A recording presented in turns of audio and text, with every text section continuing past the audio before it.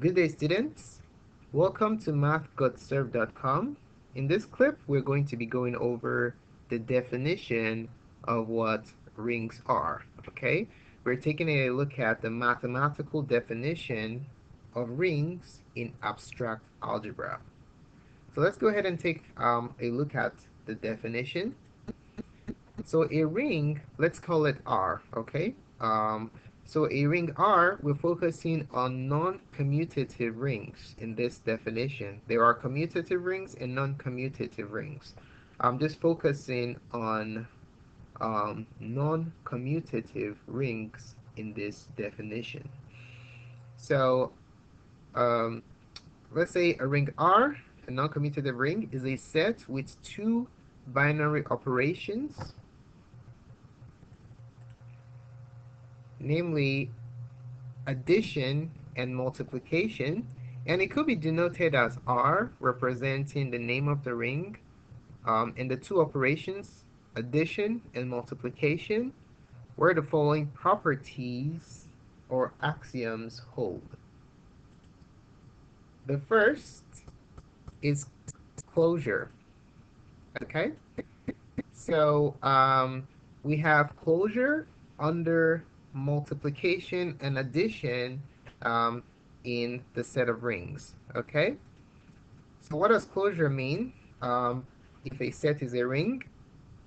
Well, it basically means that addition and multiplication are closed when you add or multiply elements in a ring you end up with elements in that ring okay elements in that in that set um, you don't end up with elements in another set so um, that's illustrated here. Let's say that A and B are in a ring, let's say R. Then the sum and the product of those two elements of that um, set are going to be in that set. That's what closure means. When you start with um, two elements of a set, you add or multiply, you end up with another element in that set that the two original elements um, you selected came from. Okay, so you want to note that um, rings is closed under addition and multiplication. Now, if you remember the definition of groups, groups is closed under multiplication. Okay, so rings is um, closure under addition and multiplication, but groups is just multiplication.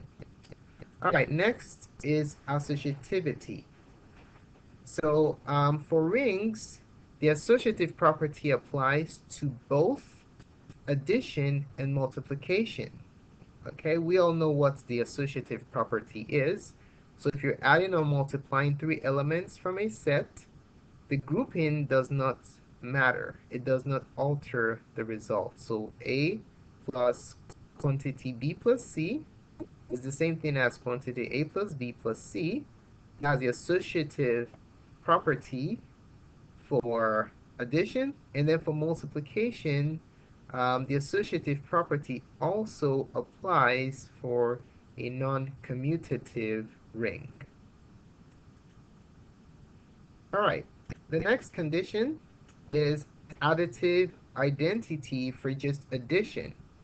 Okay, um, so a set R is a ring if it has an identity, an additive identity element. We know what an identity is, right? Um, if you take an element from a set and you carry out an operation with an identity, with that identity you end up with um, the original element from that set that you started with. Okay, so with rings, um, you have an additive identity, um, namely zero, so that um, when you carry out an addition of an element from that um, ring and zero you end up with what you started with okay? So you see it is illustrated here for all a in a set R. If it's a ring then a plus zero is equal to zero plus a. That illustrates the additive identity okay? All right the next property is the commutative property. For non-commutative rings, um, we have commutativity for just addition. Okay, so um, this is where this um, non-commutative business comes into play. A ring that's not commutative, the non-commutativity of the elements of this ring applies just to multiplication. Okay, so you want to keep that in mind. So for non-commutative ring, addition is still commutative. It's just multiplication that is not commutative. All right, so its commutativity holds for addition. So the order in which you add elements in a set that is a ring does not matter. Okay, a plus b is equal to b plus a. All right, let's take a look at the next axiom that um, that is a ring must satisfy, and that is additive inverse for just addition. Okay, um, R has an additive inverse, which is the element, um, the opposite of an element minus A. For each A um, in R, there exists an element, negative A in R, such that um, when you add the two elements, the element and its additive inverse, um, in any order, so we can have um, negative a plus 0 plus a or a plus negative a. We'll still end up with the additive identity element, uh, which is 0 that we talked about in property number 3.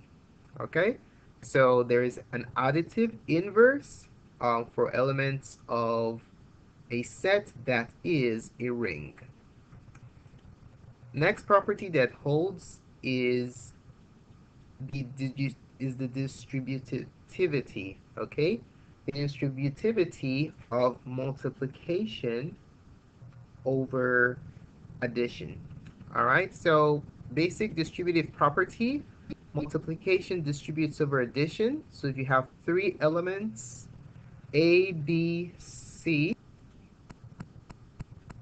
A times B plus C is equal to A times B plus A times C. So we see our basic distributive property in action here in uh, axiom number six in the definition of a ring. Now, what are some examples of non-commutative rings? Um, let's take a look at some simple examples there are many more um, complicated ones. A simple example of a non-commutative ring um, are matrices, the set of matrices. We know that uh, matrices are closed.